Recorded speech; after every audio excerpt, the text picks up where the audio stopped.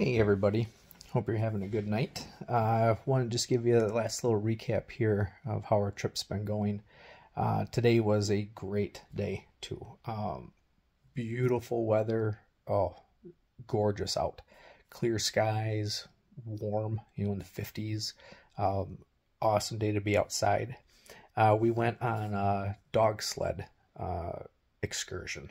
Um, the Seaveys uh, is a family that uh, races uh, dogs. Uh, they, they, the great grandfather um, was one of the co-founders of the Iditarod. Uh, so they've been involved in it for generations. Um, really neat to see their kennel, meet the dogs, um, the mushers um, that, that kind of took us on the tour. Um, just just a great experience. Uh, our tour guide picked us up. Uh, him and his wife uh, had done a lot of dog racing. He did more of the sprints, um, but his wife was a very accomplished uh, sled dog racer. They've retired from that, but um, she works at the at the kennel. Um, it's kind of like uh, in the the main office. He does the tours. Um, super neat guy. Uh, um, Daryl is his name. Not that you guys would probably be able to request him if you ever come out here, uh, but if you could, that would be great. He did a great job. Interesting guy, a lot of good stories, um, a lot of funny, you know, stories of his his racing mishaps, uh, encounters with bears. It, it, was very entertaining. He gave us a tour of the whole area through town, gave us a you know historical tour. Um, and then just the experience at the the dog kennel was great. Um, you know, they they hooked up the, the team of dogs to a wagon uh, that they made specifically for uh, training them in the off season by pulling people around, and took us on on a, on a run. Um, it was it was a great experience. It was fun. The dogs were excited and just you know you could tell they're happy animals, and that really made me feel good that they're very well treated.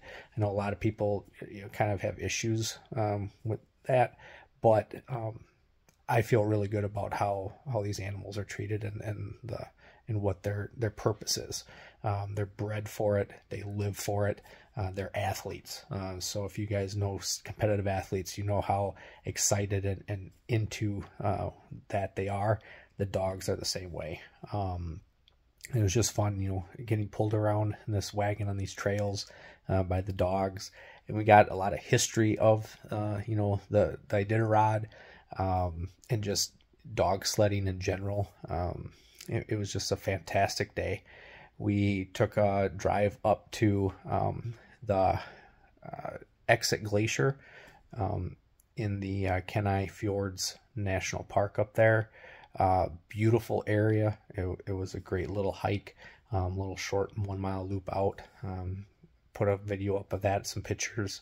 Uh, so check that out. It was it was a good, like I said, beautiful, gorgeous day. Um, we had lunch uh, at a little local place. Had the fish and chips. Um, so you know I love good fish fry.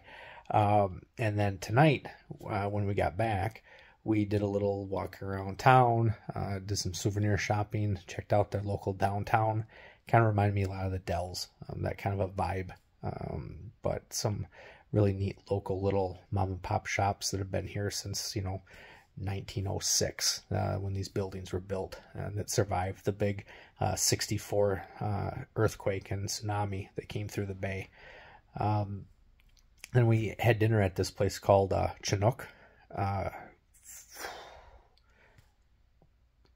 amazing uh, meal. Uh, I had the salmon with a basil pesto cream sauce it was probably the best salmon I've had that I can remember. Um, I had a couple of bad experiences uh, when I was down in uh, Chile with the salmon, um, and wasn't real happy with you know how it was cooked down there. This up here was cooked perfect for my taste, flavorful, rich, vibrant. Uh, you know, salmon. The color was just oh, it was I can't stop thinking about it. Um, I had an old fashioned with dinner too. A big surprise, right? Uh, but it was good. It was a vanilla infused Maker's Mark uh, whiskey that they used. Um, so really good job. Um, I was just really happy with it. We even got some chocolate cake for dessert, and that was really good too.